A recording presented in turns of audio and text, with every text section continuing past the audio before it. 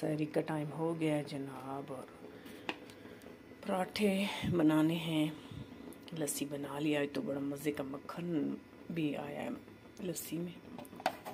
तवा रख दिया है, बनाती हूँ पराठे। सालन गर्म हो रहा है, चाय अब बनानी है और फटाफट सैरी करते हैं। माशाल्लाह माशाल्लाह जी। हमारी सैरी होगी तैयार, सैरी करते हैं और फिर मिलते हैं आपको सुबह।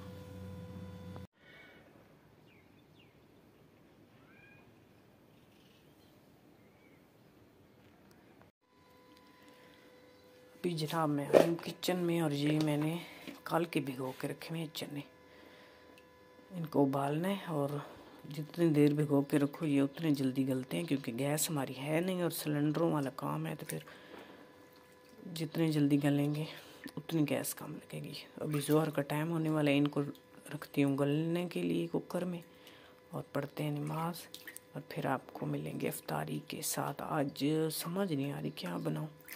बच्चों से मशवरा करूँगी क्या बनाए। मैं और मेरे हस्बैंड से जो मिल जाए खा लेते हैं। बस बच्चों से पूछना पड़ता है क्या बनाए। चलें फिर मिलते हैं आपको अफ्तारी के टाइम तो जनाब, चने में मैंने रख दिया उबलने के लिए और यहाँ पे थोड़ा सामान भी आ गया मेरा। अब ये टैंग लेके आ गए हैं और टैंग अब बनाना पड़ेगा लेके आए हैं। तो वैसे मुझे ये चीज़ें पसंद नहीं हैं, मैं कहती हूँ, लीमू हो या जाम शीरी मुझे बहुत पसंद है। चलें, आज ये बना लेंगे। और जनाब चावल ले आए हैं और फ्रूट आया, स्ट्रॉबेरी, आज तो बड़ी फ्रेश फ्रेश मिली है। और केले आए हैं और खरबूजे आए हैं और सेब घर में काफ़ी रखे हैं। तो अब मेरा मूड चेंज हो गया। अब मैंने चावल आए हैं ना तो मैं चने वाले चावल बना लूँगी साथ फ्रूट चाट बनाऊँगी और साथ पकोड़े बना लेंगे। क्योंकि मेरे बेटे को बहुत पसंद है और बेटी को कि चावल हों तो साथ पकोड़े भी हों और उसी टाइम जैसे रोज़ा अफ्तार करें तो साथ ही चावल भी खा लें आप, नमाज़ पढ़ने के बाद। तो बस फिर अब, आज चावल बनेंगे, मुझे सुबह से समझ नहीं आ रही कि मैं क्या बनाऊँ। बस सब चीज़ों को धो के अपनी जगह पर रखती हूँ और फिर बनाते हैं चावल वगैरह, फिर आपके साथ साथ साथ शेयर भी करती रहूँगी तो जनाब पुलाव की तैयारी हो रही है यहाँ पे, चने वाले पुलाव की। तो मैंने एक ये दरमियाने साइज़ का प्याज, उसको हल्का सा लाइट सा किया ब्राउन ब्राउन ज़्यादा नहीं किया, क्योंकि आजकल मुझे वाइट चावल बहुत अच्छे लगते हैं। और थोड़ा सा उसको करके फ्राई फिर लहसुन अदरक का पेस्ट फ्राई किया साथ ही। फिर मसाले डालने हैं, उनको भूना है बेसिक जो मसाले होते हैं। और फिर डाल दिए टमाटर एक डाला है। दो सब्ज़ मिर्चें डाली हैं फिर चने डाल दिए थोड़ा सा इनको भूनते हैं और फिर पानी लगा देंगे। और जैसे ही पानी में उबाल आएगा, चावल डाल देंगे। चावल मैंने पहले से भिगो के रख दिए और फिर बस जनाब सिंपल सी हमारी पुलाव चना पुलाव की रेसिपी। हो तैयार।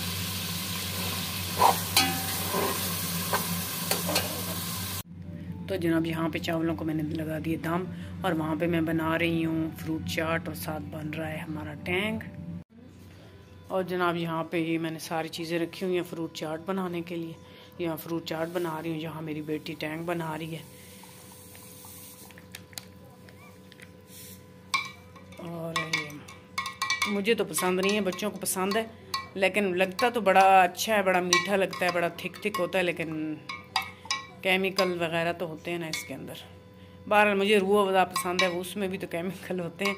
सबसे जो अच्छी अच्छा ड्रिंक है ना मेरे ख्याल से रमज़ान में, या तो वो दूध जाम शीरी है, या फिर ना लीमू, जो लीमू का सिकंजबीन होती है, वो मुझे, मैं तो कहती हूँ वो बेस्ट है। चलें जी, ये सारा कुछ बन रहा है और मैं यहाँ पे काटती हूँ। फ्रूट चाट बनाती हूँ और कोई लोग बनाते हैं, क्रीम वाली कोई लोग बनाते हैं। जूस, टैंग वगैरह और उसमें सारे मिसाले वगैरह डाल के तो वो मैं बनाती हूँ दही वाली। मैं सारे काट लेती हूँ फ्रूट और दही लेती हूँ आधा कप, उसके अंदर थोड़ा सा पानी डालती हूँ, चीनी डालती हूँ, उसको अच्छी तरह फेंटती हूँ और इसमें डाल देती हूँ फ्रूट चाट में तो बड़ी मज़े की बनती है। कभी आप लोगों ने ट्राई नहीं अगर की तो करना, बड़ी मज़े की बनती है। और क्रीम के साथ भी बहुत अच्छी बनती है, लेकिन मैं क्रीम के साथ नहीं बनाती, दही के साथ बनाती हूँ। किसी दिन क्रीम के साथ भी बनाऊँगी। और जनाब यहाँ पे मेरी बेटी बना रही है पकोड़े और ये भी अपनी मर्ज़ी के डिज़ाइन बनाती है जैसे इसको अच्छे लगते हैं कुछ चिप्स कुछ इस तरह काट लिए चिप्सों की तरह कुछ इस खुद ही सारा कुछ मिलाया और बना रही। बस यही बहुत है कि वो मेरी हेल्प हो रही है यही बहुत है। और आज तो भाई मेरा गला खुश्क हुआ है पता नहीं क्यों कि हम्म, गर्मी भी थी लेकिन इतनी ज़्यादा मैं बाहर तो आज नहीं गई बस छप पे जाती हूँ बस सिपारा पढ़ने वो भी थोड़ी देर धूप पे बैठी हूँ, लेकिन धूप बहुत तेज़ थी तो फिर मैं छाँव में बैठ गई। तो पता नहीं आज ना मेरा बिल्कुल गला खुश्क हुआ है। और अब और अब बारी है जनाब। चावल देखने की कि वाइट बने हैं कि माशाल्लाह जी, माशाल्लाह। एकदम खिले खिले और जैसा मैं चाह रही थी, बिल्कुल वैसे बने। बस अल्लाह करे, जायका भी उसी तरह अच्छा ही हो। इनशाला अच्छा होगा। से, माशाल्लाह। ज़बरदस्त किस्म की। चावल बन गए। बस सारी रेडी है, पकोड़े भी बन गए। शरबत भी बन गया है, चावल भी बन गए और बस अब बैठते हैं, अपने रब रब से दुआएँ मांगते हैं। अल्लाह हमारी दुआएँ कबूल करे, अल्लाह सबकी दुआएँ कबूल करे। और ये वक्त होता है कबूलियत का। और इस टाइम बैठ के तो दुआएँ करें अपने लिए, अपने मुल्क के लिए, अपने बहन भाइयों के लिए, अपने रिश्तेदारों के लिए, सब मुसलमानों के लिए, सारी दुनिया, पूरी दुनिया के लिए दुआएँ करें कि अल्लाह हर जगह अपनी खैर बरसाए और रहमतें बरसाए इस रमज़ान के सदके।